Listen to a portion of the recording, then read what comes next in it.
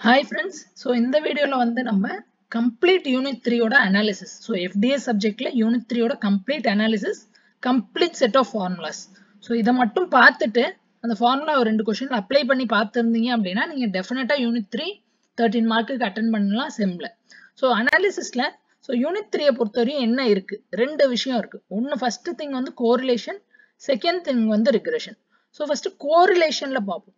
கோரிலேஷனில் மொத்தம் நாலு different things இருக்கு. ஃபர்ஸ்ட் திங் என்னன்னா types of correlation types of கோரிலேஷனுக்குள்ள positive negative no correlation strong weak perfect curvilinear மொத்தம் பார்த்தீங்கன்னா ஒரு ஏழு டிஃப்ரெண்ட் டைப்ஸ் ஆஃப் கோரிலேஷன் இருக்கு. இதில் ஆல்மோஸ்ட் நான் ஃபைவ் டு சிக்ஸ் கவர் பண்ணியிருப்பேன் என் ப்ரீவியஸ் வீடியோஸில் ஏதாவது அந்த கர்வி லீனியர் மட்டும் விட்டுருப்பேனா இருக்கும். அந்த புக்கில் பார்த்துக்கோங்க சிம்பிள் தியரி கொஷின் தான். தென் இன்னொரு தியரி கொஷின் என்னன்னா ஸ்கேட்டர் பிளாட்னா என்ன? ஸ்கேட்டர் பிளாட்டை வச்சு நம்ம கோரிலேஷன் எப்படி கண்டுபிடிக்கிறோம்? அப்படிங்கிறது ஒரு தியரி கொஷின் ஸ்கேட்டர் பிளாட்ல ப்ராப்ளமும் இருக்க பாசிபிலிட்டி இருக்கு. ப்ராப்ளம்னா என்னன்னா ஏதோ ஒரு set of x y values கொடுத்துட்டு அதுக்கு ஸ்கேட்டர் பிளாட் கன்ஸ்ட்ரக்ட் பண்ணி அங்க கோரிலேஷன் எப்படி இருக்குன்னு சொல்லுங்க அப்படிங்கிற விஷயம்.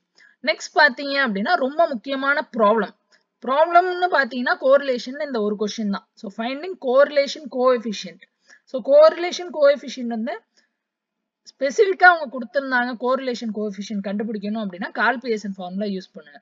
ஸோ கால்பியேசன் ஃபார்முலா ஒன்று தான் கம்ப்யூட்டேஷனல் ஃபார்முலா ஒன்று தான். ஸோ ஃபாரின் ஆத்தர் புக்கில் இந்த கால்பியேசன் ஃபார்முலா என்ன சொல்லியிருக்காங்கன்னா கம்ப்யூட்டேஷனல் ஃபார்முலான்னு சொல்லியிருக்காங்க. So calculate the correlation coefficient using computational ஃபார்முலான்னு சொன்னாலும் அதே தான். நார்மலாக கேல்குலேட் த கோரிலேஷன் கோஎஃபிஷியன்ட் சொன்னாலும் அதே ஃபார்முலா தான். பை சான்ஸ் டெஃபினேஷன் ஃபார்முலான்னு சொன்னால் மட்டும் அப்போ டெஃபினேஷன் ஃபார்முலா யூஸ் பண்ணுங்க. சொல்ல மாட்டாங்க ரொம்ப ரேராக தான் சொல்லுவாங்க.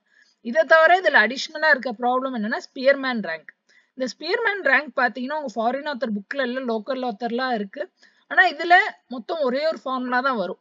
ஸோ அதனால் இதையும் பார்த்துக்கங்க மிஸ் பண்ண தேவையில்லை. ஏன்னா பை சான்ஸ் பேப்பர் செட் பண்ணுறவங்க லோக்கல் ஆத்தர்லேருந்து பண்ணாங்க அப்படின்னா மிஸ் பண் இதை நீங்கள் அட்டன் பண்ணாமல் முடியாமல் போயிடும். ஸோ அதனால இதுவும் பார்த்துக்கங்க ஸோ சம் பார்க்க வேண்டியது இந்த ஒரே ஒரு கொஷின் தான். லைக் ஆர் எப்படி கேல்குலேட் பண்ணும்? கம்ப்யூட்டேஷனல் ஃபார்முலா வச்சு எப்படி கேல்குலேட் பண்ணுங்கிற விஷயம் மட்டும்தான் வேற ஒன்றுமே இல்லை. நெக்ஸ்ட் பார்த்தீங்க அப்படின்னா ப்ராப்பர்ட்டிஸ் ஆஃப் ஆர் ஸோ ஆரோட வேல்யூஸ் என்ன ரேஞ்ச் என்ன? ஸோ இந்த ஆரை வச்சு நம்ம என்ன சொல்ல போகிறோம் இது ஒரு தியரி கொஷின் இதை நான் கவர் பண்ணல. ஏன்னா தியரியாக இருக்கிறதுனால. ஸோ நைன்டி பர்சன்ட் ப்ராப்ளம் கேட்கறதுக்கான சான்ஸ் இருக்குது பத்து பர்சன்ட்டாக தியரி கேட்கறதுக்கான சான்ஸ் இருக்குது ஆனால் தியரியும் பார்த்துக்கோங்க. ரொம்ப ஈஸி ப்ராப்பர்ட்டிஸ் ஆஃப் ஆரில் என்ன இருக்குன்னா பாசிட்டிவ் சைன் என்ன நெகட்டிவ் சைன் என்ன? ஸோ பாசிட்டிவ்னா பாசிட்டிவ்லி கோரிலேட்டட் நெகட்டிவ்னா நெகட்டிவ்லி கோரிலேட்டட் அப்புறம் ஒன்னை ஒட்டி இருந்தால் என்ன அர்த்தம்? மைனஸ் ஒன்னை ஒட்டி இருந்தால் என்ன அர்த்தம்? ஸோ இந்த மாதிரி சின்ன சின்ன விஷயங்கள் தான் இருக்கும். So magnitude of r value sign of r value மொத்தம் மூணு ப்ராப்பர்ட்டியோ நாலு ப்ராப்பர்ட்டியோ இருக்குது அதை பார்த்துக்கங்க ஸோ கோரிலேஷன் பார்ட் அட்லீஸ்ட் ஃபுல்லாக நீங்கள் பார்த்துட்டாலே டெஃபினட்டாக ஒரு செவன் டு எயிட் மார்க் எடுத்துடலாம். எப்படியும் ஒரு சப்டிஷனில் கோரிலேஷனில் ஒரு கொஷின் இருக்கும். இப்போ நெக்ஸ்ட் பார்த்தீங்க அப்படின்னா ரிக்ரெஷன் ரிக்ரெஷன் பார்ட்டில் பார்த்தீங்கன்னா தியரி கொஷினை ஃபர்ஸ்ட் பார்த்துருவோம். ரிக்ரெஷன் லைன் ஒரு தியரி கொஷின் ரிக்ரெஷன்னா என்ன? ரிக்ரெஷன் லைன்னா என்ன? அதை எப்படி பிளாட் பண்ணுறோம் அதெல்லாம். அதை தவிர இருக்கிற தியரி கொஷின் வந்து அசம்ஷன்ஸ் ஆஃப் ரிக்ரெஷன் என்ன? ஸோ ரிக்ரெஷன் வந்து என்னெல்லாம் அசியூம் பண்ணிக்கும்? அப்புறம் மல்டிபிள் ரிக்ரெஷன் ஈக்குவேஷன் எப்படி எழுதுவோம்? ரிக்ரெஷன் டுவர்ட்ஸ் மீன் என்ன? ஸோ ரிக்ரெஷன் பார்ட்லேயுமே லைக் இந்த எஃப்டிஎஸ் வந்து கொஞ்சம் மிக்ஸ்டாக இருக்குது சப்ஜெக்ட் தியரியும் இருக்குது நியூமரிக்கலும் இருக்குது ஸோ அது பேப்பர் செட்டர் மூட பொறுத்து ஃப்ரெண்ட்ஸ் ஷியோர் ஷார்ட்டாக சொல்ல முடியாது ஏன்னா நம்மகிட்ட ப்ரீவியஸ் இயர் பேப்பர்ஸ் இல்லை. ஆனால் இதில் இருக்க தியரி பார்ட்டோட நியூமெரிக்கல் இம்பார்ட்டண்ட்டாக இருக்கிறதுனால நியூமெரிக்கல் வரத்துக்கான பாசிபிலிட்டி ரொம்ப ஹை ஸோ நியூமெரிக்கல் நான் கவர் பண்ணிட்டேன் சார் மேண்டேட்ரியே கவர் பண்ண வேண்டியது வந்து நியூமெரிக்கல் நியூமெரிக்கல் கவர் பண்ணாமல் போகவே போகாதீங்க. நியூமெரிக்கல் நான் கவர் பண்ணிட்டேன் சார் அப்படின்னா தியரியும் பார்த்துட்டு போங்க. தியரியில் பெருசாக ஒன்று இருக்கா? ரிக்ரெஷன் லைன் நான் ஆல்ரெடி வீடியோ போட்டிருக்கேன். அசம்ஷன் ஆஃப் ரிக்ரெஷனில் ரெண்டு பாயிண்ட்டோ மூணு பாயிண்ட்டோ இருக்கும். அதை பார்த்துக்கோங்க. ஸோ மல்டிபிள் ரிக்ரெஷனில் என்னென்னா ஈக்குவேஷன் கொஞ்சம் மெயின் ஈக்குவேஷன் கொஞ்சம் டிஃப்ரெண்ட்டாக இருக்கும். ரிகர்ஷன் டுவர்ட்ஸ் மீன்ல கொஞ்சம் மீனை பத்தி கதை சொல்லியிருப்பாங்க. அவ்வளவுதான். இதுல முக்கியமா பார்க்க வேண்டிய இந்த சம்ஸ் இந்த சம்ஸ் பார்க்காம எக்ஸாமுக்கு போகவே போகாதீங்க. ஃபர்ஸ்ட் சம் என்ன அப்படின்னா லீஸ்ட் ஸ்கொயர் ரிக்ரெஷன் லைன் இதை நான் ப்ரீவியஸாக வீடியோ போடல இப்போ நெக்ஸ்ட் வீடியோ அதான் போட போகிறேன் நெக்ஸ்ட் பார்த்தீங்கன்னா ஸ்டாண்டர்ட் எரர் எஸ்டிமேட் இதை நான் டீட்டெயில்டாக ஒரு வீடியோ போட்டு இதில் எக்ஸ் ஆன் ஒய் இருக்கும் ஒய் ஆன் எக்ஸ் இருக்கும் அந்த வீடியோ பார்த்துக்கோங்க. தென் ப்ரிடிக்ஷன் ப்ரிடிக்ஷனும் நான் வீடியோ போடல. ப்ரிடிக்ஷனில் என்ன சொல்லுவாங்கன்னா லைக் ஒய் வேல்யூ என்னன்னு கண்டுபிடிங்க. ஃபார் சம் எக்ஸ் அப்படின்னு சொல்லுவாங்க. எக்ஸ் வந்து டென்னா இருக்கு. அப்போ ஒய் வேல்யூ என்ன இருக்கு? இதையுமே இப்போ நான் நெக்ஸ்ட் வீடியோவில் லீஸ் ஸ்கொயர் ரிக்ரெஷன் லைனும் இந்த ப்ரிடிக்ஷனும் கவர் பண்ணிடுவேன். ஸோ தேர்ட் யூனிட் இன்னையோட முடிஞ்சிடும். என் நெக்ஸ்ட் வீடியோட தேர்ட் யூனிட் கம்ப்ளீட்டாக கவர் ஆகிடும் ஸோ நெக்ஸ்ட் சாட்டர்டே சண்டேல நான் செகண்ட் யூனிட்டும் கம்ப்ளீட்டாக கவர் பண்ணி முடிச்சிடுவேன் ஃப்ரெண்ட்ஸ் இப்போ ஃபார்முலாஸ் பாருங்க. ஸோ இந்த ஃபார்முலாஸ் தான் நீங்க வந்து ரெஃபரன்ஸ் மாதிரி வச்சுக்கலாம். எக்ஸாமுக்கு இந்த தேர்ட் யூனிட்டை பொறுத்தவரையும் இந்த ஷீட் மட்டும் பார்த்துட்டு போனா போதும். ஸோ ஃபஸ்ட்டு கோரிலேஷன்ல இருக்கிற ஃபார்முலாஸ் கோரிலேஷன்ல ரெண்டு ஃபார்முலா இருக்கு. ஒரு ரேதர் மூணு ஃபார்முலா இருக்கு. ஃபர்ஸ்ட் ஃபார்முலா என்னன்னா ஜெட் ஸ்கோர் வச்சு. So R equal to summation of Z X into Z Y by N minus one இது எக்ஸாம்ல ஜெட் ஸ்கோர் மேபி டூ மார்க்ல ஜெட் ஸ்கோர் ஃபார்முலா என்னன்னு கேட்கலாம். ஆனால் சிக்ஸ் மார்க்லயோ எயிட் மார்க்லயோ கேட்கறதுக்கான பாசிபிலிட்டி கம்மி தான் ஃபார்முலால ஒன்றுமே இல்லை. அவங்க கொஸ்டின்ல ஜெட் எக்ஸ் ஜெட் ஒய் கொடுத்துருப்பாங்க. இப்போ ஒரு செட் ஆஃப் பாயிண்ட்ஸ் இருக்குன்னு வச்சுக்கோங்களேன். எக்ஸ் ஒய் அப்படின்னு ஒரு செட் ஆஃப் பாயிண்ட்ஸ் இருக்கு.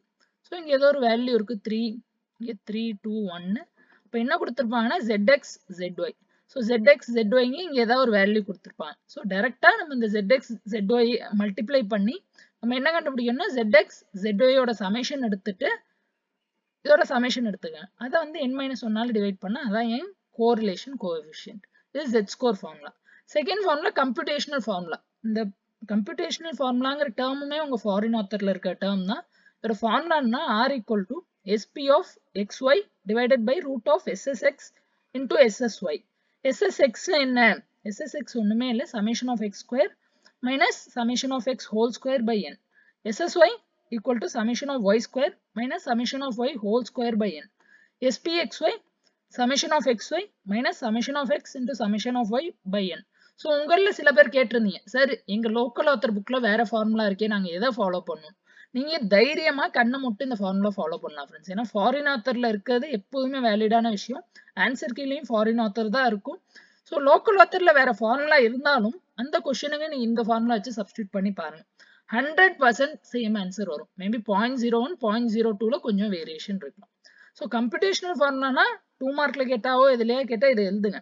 ஆனா நியூமரிக்கல்ல கேட்டாங்கன்னா நம்ம அந்த கால்பிஎஸ்என் ஆல்ரெடி ஒரு வீடியோல பார்த்துருக்கோம்ல. R equal to n into summation of x y கால்பியசனோட formula இந்த ஃபார்முலாவும் இந்த ஃபார்முலாவும் ஈக்குவலண்டா என் எல்ஹெச்எஸ்ல இருக்கிற ஃபார்முலாவும் என் கால்பியேசன் ஃபார்முலாவும் ஒன் அந்த சேம் தான். இதை நம்ம கொஞ்சம் சிம்பிளிஃபை பண்ணோம்னா எனக்கு கால்பியேசன் கிடச்சிரும் ஃப்ரெண்ட்ஸ் அவ்வளோதான் ஸோ இதுவும் நீங்கள் யூஸ் பண்ணலாம். கம்ப்யூட்டேஷனல் ஃபார்முலான்னு கேட்டால் இதுவும் யூஸ் பண்ணலாம். உங்களுக்கு கால்பியேசனை கன்வீனியன்ட்டாக இருக்குது அப்படின்னா கால்பியேசனை யூஸ் பண்ணிக்கிறேன் ஸோ ஃபைனல் ஆன்சர் கரெக்டாக இருந்தால் போதும்.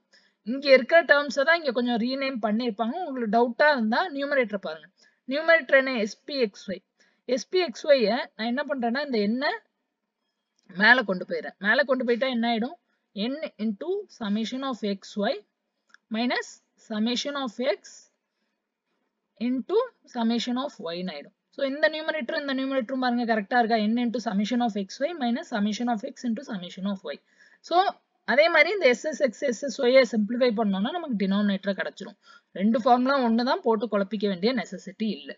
இப்போ நெக்ஸ்ட் ரிக்ரெஷன் ஸோ ரிக்ரெஷனில் என்ன அப்படின்னா லீஸ்ட் ஸ்கொயர் ரிக்ரெஷன் ஈக்குவேஷன் ஒரு நியூமரிக்கல் கொஷின் கேட்பாங்க. அதை நம்ம நெக்ஸ்ட் வீடியோவில் பார்க்க போகிறோம் அதில் இருக்கிற செட் ஆஃப் ஈக்குவேஷன்ஸ் மொத்தம் பார்த்தீங்கன்னா ஒன்று ரெண்டு மூணு நாலு அஞ்சு ஆறு ஈக்குவேஷன் தெரிஞ்சா போகும் ஃப்ரெண்ட்ஸ் ரொம்ப கஷ்டமான ஈக்குவேஷன் இல்லை. ரெண்டு டைம் எழுதி பார்த்தீங்கன்னா மைண்டில் நின்றோம்.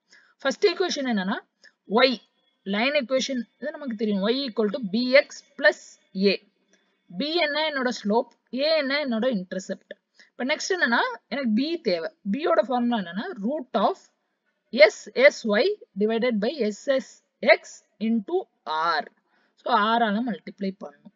இப்போ நெக்ஸ்ட் இதில் எஸ்எஸ்ஒய் எஸ்எஸ்எக்ஸ் எஸ்எஸ் எக்ஸ் வேணும். ஸோ ஆல்ரெடி நீங்கள் ப்ரீவியஸாக இங்கே கொஞ்சம் மேலே பாருங்களேன். ஆல்ரெடி இந்த இதில் படிச்சிருந்தீங்க அப்படின்னா அதே ஃபார்முலா தான் இங்கே. ஸோ இங்கே ஆக மொத்தம் பார்க்க போனீங்கன்னா நாலு ஃபார்முலா தெரிஞ்சா போதும் ரெண்டு நம்ம படிச்சிருக்கோம். ஸோ அதையே இங்கே யூஸ் பண்ணிக்கலாம். இப்போ நெக்ஸ்ட் ஏயோட ஃபார்முலா ஏயோட ஃபார்முலா என்ன? Y bar minus b into x bar y பார்னா என்ன? ஒய் பாரும் எக்ஸ் பாரும் என்னோட mean so y bar x bar என்ன? என்னோட மீன் மீனோட ஃபார்முலா என்ன? எல்லாத்தையும் ஆட் பண்ணுங்க. Summation of y divided by n x bar என்ன? Summation of x divided by n ஆக மொத்தம் பார்க்க போனீங்கன்னா இந்த மூணு ஃபார்முலா தான் மெயின் இந்த ரெண்டு நம்ம இங்கே படிச்சிருந்தோம் அப்படின்னா இந்த ரெண்டு ஃபார்முலா இங்கேருந்து யூஸ் பண்ணிக்கலாம் இந்த இடத்துல இருந்து இல்லை இங்கே தனியாக படிக்கிறேன்னா தனியாக படிச்சுக்கோங்க. ஒன்றும் ப்ராப்ளமே இல்லை ஃப்ரெண்ட்ஸ் இப்போ எப்படி நியூமரிக்கல் அப்ளை பண்ணணும் நெக்ஸ்ட் வீடியோவில் பார்க்கலாம். Next standard error estimate maybe இந்த ஸ்லைட் கொஞ்சம் கிளியராக இல்லைன்னு நினைக்கிறேன். நான் இதை அப்லோட் பண்றேன். கிளியரான வெர்ஷன் ஸோ ஸ்டாண்டர்ட் எரர் எஸ்டிமேட்டில் நான் ஆல்ரெடி ஒரு டீட்டெயில்டு வீடியோ போட்டிருக்கேன்.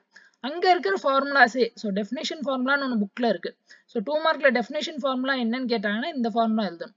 ஸோ என் நோட்ஸை பாருங்க. அதில் இதை நான் கிளியராக அப்லோட் பண்ணி போடுறேன். ஒன்றுமே இல்லை summation of y minus y bar square by n minus two இதோட ஹோல் ரூட் இதான் என்னோட டெஃபினேஷன் ஃபார்முலா கம்ப்யூட்டேஷன் ஃபார்முலா என் ப்ரீவியஸ் வீடியோவில் பார்த்துருந்தீங்கன்னா தெரியும். ஒய் ஆன் எக்ஸுக்கு ஒரு ஃபார்முலா எக்ஸ் ஆன் ஒய்க்கு ஒரு ஃபார்முலா நான் ரெண்டு டிஃப்ரெண்ட் மெத்தட் யூஸ் பண்ணியிருப்பேன். நீங்கள் அதில் செகண்ட் மெத்தடே வேணால் செகண்ட் மெத்தட் சூஸ் பண்ணிக்கோங்க. எது யூஸ் பண்ணாலும் கரெக்டு தான். நான் மெத்தட் டூ நான் ஏன் சொல்கிறேன் அப்படின்னா இதான் புக்கு ஃபாரின் ஆத்தர் புக்கில் இருக்குது ஓகே ஸோ எங்கெல்லாம் ஆர் தேவைப்படுதோ ஆருக்கு நம்ம இந்த ஃபார்முலா யூஸ் பண்ணிக்கலாம். நமக்கு வழக்கமாக தெரிஞ்ச கால் பிஎஸ்என் ஃபார்முலா இவ்வளோதான் ஃப்ரெண்ட்ஸ் ஸோ இந்த ஷீட்டை ரெஃபரன்ஸாக வச்சுக்கோங்க. இதை வச்சுட்டா தேர்ட் யூனிட் கவர் ஆகிடும் அதுக்கப்புறம் சப்சிக்வெண்ட் அதில் நம்ம செகண்ட் யூனிட் கவர் பண்ணி முடிச்சிடலாம் ஃப்ரெண்ட்ஸ் தேங்க்ஸ் பை பிடிச்சிருந்தா சப்ஸ்கிரைப் பண்ணுங்க. ஃப்ரெண்ட்ஸ் கூட ஷேர் பண்ணுங்க. ஏதாவது ஃபீட்பேக் இருந்துச்சுன்னா தயவு செஞ்சு கமெண்ட் பண்ணுங்க.